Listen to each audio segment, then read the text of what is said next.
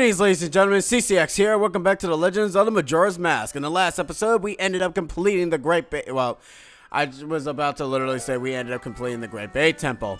We did not complete the Great Bay Temple. If we did, that would be very, very fast, and I'd be playing this game at a very incredible maximum speed. But in all honesty, we're not playing this at a maximum speed because that would be ridiculous. Anyways, in the last episode, we ended up doing a few side quests here and there. We did a Goron race. So that was interesting. We ended up completing the powder keg mini game. Well, not mini game. We did the powder keg job, and also got qualified to be able to actually use powder kegs. And it's weird how you know powder kegs used to be something they used to drink beer in or any type of drink, and we can use it as explosives, and, and it's, it's incredible. Like explosive alcohol, ladies and gentlemen. Now I'm wearing the bunny hood, and you guys are probably saying, "Gee." I remember this mask, or quote unquote mask, even though it's called it's called the bunny hood. I highly doubt it's called the bunny hood mask. Is it really called the bunny hood mask? If it is, that's yeah, it's just called bunny hood. Yeah, it's the only. It's actually probably I think the only item that's not a mask. That's very weird. Anyways, before we head to anywhere and start our wonderful days, what we want to do is we want to exit out here. Now, in the last episode, we did showcase what happens when you go to Romani's ranch at the end of the at the end of the final day. Yes, something is amiss, and we need to solve that problem immediately. But the thing is, we can't really solve that problem because we are kind of lacking a lot of ways of getting there. And since we blew up a big giant boulder, what else is good enough to using a powder keg to be able to explode that rock?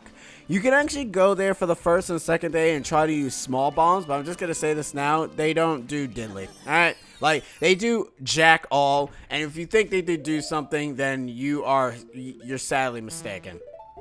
Anyways, we came in this area before, and I completely ignored it because that's just me. I wanted to come here as a Goron because the Goron, ironically enough, is kind of like this game's version of the Goron tunic. As you can see here, I can still actually take a lot of damage from these guys, but eh, what are you gonna do? But my fist end up taking these guys down in like three hits. Also, they end up sporting a lot of rupees just for killing them. So yeah, if you kind of looking for the ability of grinding for rupees, well, here you go. It's not the recommended ideal place, mind you, because of the fact that they only give you 50 rupees, and 50 rupees is kind of like, eh. It's like chump change to people. And because it's a little bit easier to fight them as the Goron since they only take, like I said, three hits. But it is time to get the heart piece that I end up forgetting because I was about to get myself killed. And we got ourselves another heart piece. Oh yeah! Another heart piece for me and uh, another heart piece for you. Anyways, let's go ahead and actually continue. The first thing we want to do first is we want to go back to the bomb shop. And we also want to get, we kind of want to also go to the item shop as well. Now, uh, uh, run with me here. This will make sense in due time. But the main reason why we want to go, we want to get two, we want to go visit those two shops. One, if we visit the bomb shop, we'll be able to buy ourselves a powder keg for 50 rupees. If you go back to the guy, he'll actually tell you to do the, I think he'll actually tell you to do the powder keg side quest again, even though you don't really want to do the powder keg side quest again, because that'd be really, really dumb. So what you want to do is talk to this guy here, and he'll say something about blah, blah, blah, blah. He says that, oh, you can use powder kegs and buy it for 50 rupees. You always want to come to this guy, and it's very, very important. Powder kegs made by my instructor are extremely powerful. Come back to see me if you run out. And we will, dear sir. What about Bombchus? What about Bombchus? Alright? I don't want to hear anything about Bombchus. I want to hear anything about those stupid, dumb Bombchu bastards. Anyways, the main attraction here is this guy. Oh, baby, that's a nice thing you got there. Let me hear the song you wrote on that. Well, let's see. Yeah, I don't feel like being, like, annoying with this, so I'm just going to create something that's just very easy to remember. Because the thing about this is that you, when you end up learning the Scarecrow song, they don't really show you it to you in the menu, which I kind of wish that they did, but whatever. I mean, seriously, whatever. Okay, now that we got the Scarecrow song, what we want to do next is we want to, we actually want to head, uh, we want to head to um, Milk Road. At least I think it's called Milk Road. It's called Milk Road? I think, yeah, it's called Milk Road. All right, good. We want to head to Milk Road because we want to go ahead and actually get that side quest started. Now, after we do this, we are gonna kind of leave and not come back until the first day. But until then, we might as well just get it started now and not later. Now, before we came here, we found like very, very three, two depressing cat. well, three if you really want to count the guy that we just saved for his wonderful cuckoos. Mmm, he loved his chicken so much, and he knows he's gonna die, and he couldn't see the chickens, guys. He couldn't just see the chickens. So terrible. Anyways, welcome to Romani Ranch. We have came here before. Also, this sign is changed in the 3DS version. This sign is actually uh, ripped right out of Kakariko Village in Ocarina of Time. Yeah, laziness. but uh, we came here before and we couldn't really absolutely do anything. But if we come here the first day, well, you can see that girl is running around. No, she's not running around at the speed of sound. We're not making Sonic references. I already made a Sonic reference in the last episode. We ain't making it again. And yes, to Tatl, that is indeed my horse. Now, people have wondered, how in the world did Epona manage to get over here? Hi, Epona. Can I ask something? Are you a magic horse? And if you're a magic horse, you can be able to clip through the gate yourself, and I don't have to help you. But you want to know something? I know your secrets, Epona. You have ghostly invisible powers which they're probably going to change in Breath of the Wild. Anyways, let's go ahead and talk to the girl who's going to go and give us a very stupid nickname that a girl that I like ends up giving me a very dumb nickname as well. She called me those bird things from Twilight Princess, guys. I'm offended. Anyways, I'm Romani. I was given the same name as the ranch. Oh, shocker. What's your name? You know what? I'm not going to say my name. Screw you. Hmm, well, alright then. How about Grasshopper? Seriously, you give me the Grasshopper name anyways. Whatever. See, you're wearing green clothes, and you're patter about, and you're patter about when you walk, so grasshopper it is. What's that supposed to mean? Romani was practicing for tonight. Uh, you consider yourself in third person? Oh, actually, no, first person. What am I talking about? They are coming. Dun dun dun! Now it's time for me to get in my extraterrestrial. They, they come at night every year when the carnival approaches. That's right, ladies and gentlemen. We got mother effing aliens up in this piece. I know, it doesn't really make any sense. Why do we have aliens in this other game? Shh, Majora's Mask. They come riding in a bright, shiny ball. A whole lot of them come down. And that cow in the Japanese version had a nose ring. Why? Uh, why is that relevant? I have no idea. It doesn't really make any sense. Basically, we have aliens. Now, people have speculated by saying that they're ghosts, but I'm just gonna say this now. Guys, the stereotypical, they come from space, they float around, they look like aliens, they steal cows, they're aliens. I don't know where people get ghosts from. Like, seriously, they look nothing. I mean, I guess it makes some sort of sense that they look like a variance of Ghost, but they're not ghosts. They're friggin' aliens, guys. Hell, they even got the techno, the techno type music. What ghost has music that's not techno based? I mean, unless you're watching a particular anime that has that, then uh, I guess that's cool. But my point still stands. These things are bloody. Uh, they're aliens. They're not ghosts Don't know where you guys get ghosts from.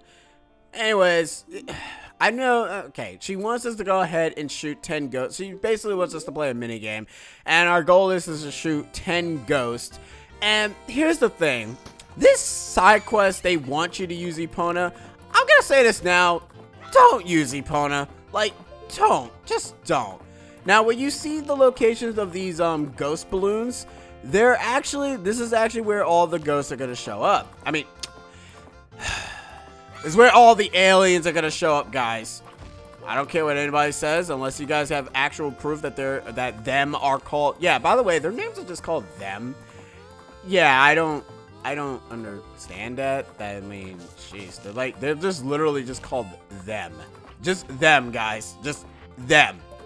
Um, but they need better nicknames. instead of them, I'm gonna call them, um, hmm. I'm gonna call them, no, that gasoline just sounds dumb.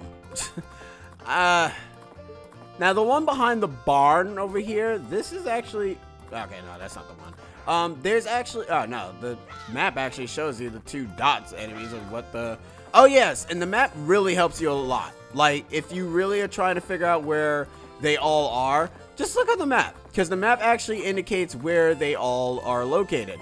Yeah, the map is really, really useful, and it would take this in Twilight Princess, and by adding, like, little dots here and there to actually explain where particular things are located, and it really, really helps, because that's something that's really, really good. I'll teach Romani's horse calling song to you. Now you two keep getting along and go practice. We already got along. She's my horse. I mean, seriously, why was she not... Uh, eh. Here's, I'm also hoping that Breath of the Wild brings back Epona's song, since we have Epona in that game, so it kind of would make sense that Epona's song be in the game. Because Epona never comes to you unless you play Epona's song. It's literally called Epona's song. Like, why is it, why is it not called, um, um, Malon? That's her name. Her name is Malon, right?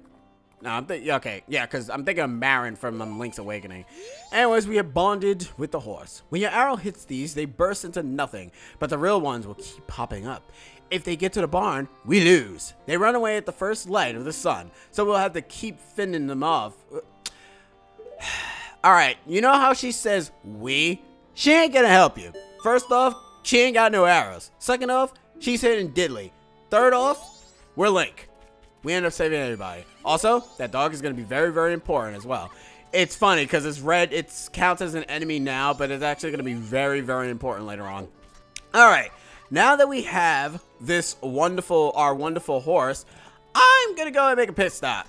We're going to head to Southern Swamp. How much time are we in? We're at 12 minutes? Eh, that's not too bad. Yes, guys, you guys need to know how much time we are in recording because you guys are part of me. You guys are part of my LP. I love you guys. You guys are the subscribers and my Mavericks hunters. I'm about to say you guys are just my Mavericks, except I realize that if I say you guys are my Mavericks, that means that you guys are evil and you guys are gonna betray me. Give it time, you guys will probably betray me like soon enough. it's like, eh. Pay Mega Man X. Then you guys will get the joke of my name. That's not really a joke. You guys will get the indication of my name.